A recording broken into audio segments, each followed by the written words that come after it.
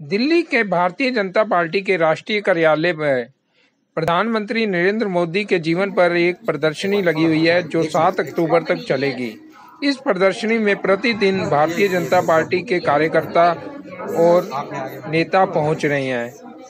24 सितंबर को भारतीय जनता पार्टी की महिला मोर्चा के सदस्य इस प्रदर्शनी को देखने गए, जिसमें महिला मोर्चा की अध्यक्षा योगिता सिंह और भारतीय जनता पार्टी दिल्ली प्रदेश के उपाध्यक्ष राजीव बब्बर भी शामिल थे।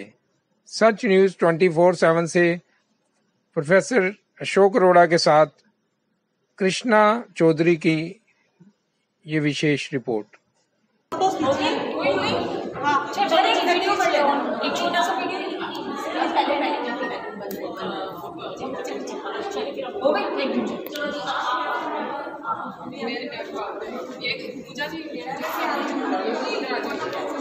बहुत ज़्यादा प्रोत्साहित करते हैं। महिलाओं के लिए रोजगारों, रोज़गार योजना उन्होंने शुरू करी है, जिससे कि कई महिलाएँ अपने घर में बैठ के भी रोज़गार कर सकती हैं। ये हमारे माननीय मोदी जी का ही एक बहुत अच्छा कदम है, जो उन्होंने हमारी घर बैठी महिलाओं को, जो चूल्हे में खाना बनाया करती थी, उनको उन्होंने सिलेंडर की सुविधा उपलब्ध कराई उज्ज्वला योजना के अंतर्गत।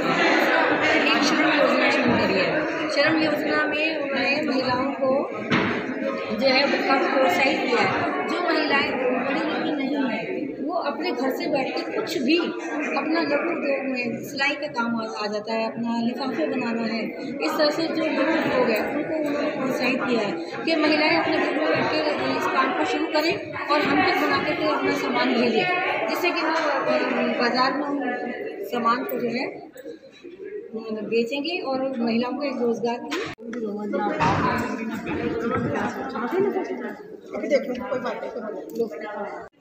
अभी हो गया अब आ जाए चार चार पाँच मिनट वेट करके जो चार पाँच पाँच अब लो तो एक मिनट। अभी देख कोई बात नहीं